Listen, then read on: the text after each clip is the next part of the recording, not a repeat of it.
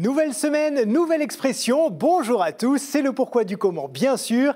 L'émission qui vous raconte l'histoire de notre langage à travers ses origines religieuses. Aujourd'hui, lumière sur la terre promise.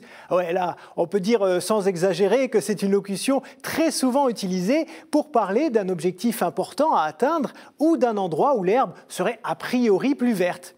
En fait, l'expression est utilisée un peu à toutes les sauces, dans les médias, en musique ou en littérature, mais sachez d'ores et déjà qu'elle n'apparaît qu'une seule fois telle qu'elle dans les Écritures. Ah oui, je sais, c'est étonnant. Bon, elle est quand même là en filigrane, du début à la fin, puisque le mot terre est utilisé 2500 fois dans l'Ancien Testament. Rien que ça. C'est vous dire l'importance que revêt cette promesse. Allez, commençons par le commencement. Nous voici à Haran, au nord-ouest de la Mésopotamie, où Abraham est installé avec sa famille. C'est l'un des petits-fils de Noé et à l'âge de 75 ans, il est choisi par Dieu pour accomplir une grande mission, fonder un nouveau peuple.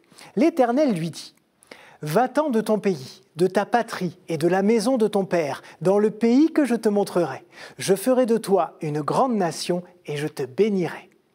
Dieu ne lui dit pas immédiatement de quel pays il s'agit et pour quelle raison il l'envoie là-bas. Mais la Bible précise dans les versets suivants qu'Abraham et sa famille se dirigent vers le pays de Canaan, une région située entre la Méditerranée et le Jourdain. L'Éternel constate alors toute la fidélité et la dévotion du vieil homme et décide de sceller avec lui une alliance.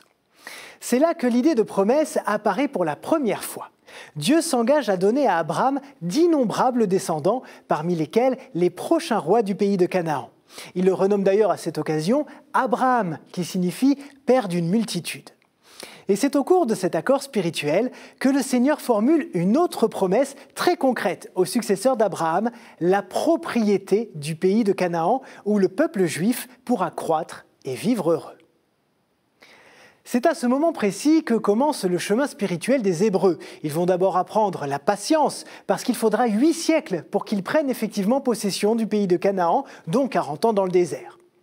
Ils vont apprendre l'effort, puisqu'ils vont devoir conquérir cette terre par les armes, ce que fera Josué, qui a succédé à Moïse dans la conduite du peuple juif. Ils vont aussi expérimenter l'échec et la miséricorde, parce que l'alliance suppose que les Hébreux soient fidèles à Dieu. Or, ils ne le seront pas toujours, loin de là.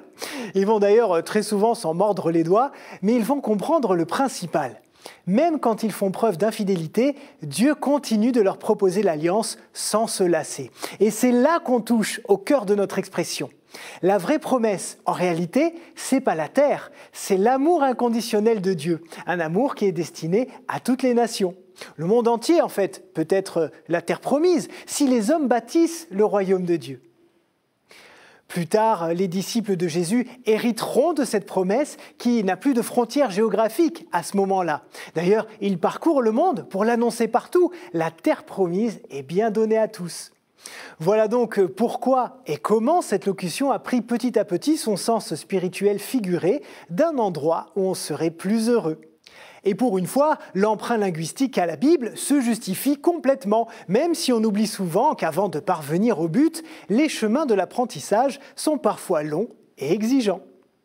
Voilà, c'est la fin de cette émission. Merci d'avoir été au rendez-vous. Et du coup, bah, moi aussi, je vais vous faire une promesse, celle d'être ici même au rendez-vous la semaine prochaine. Chanceux que vous êtes. Très bonne semaine et à très vite. Ciao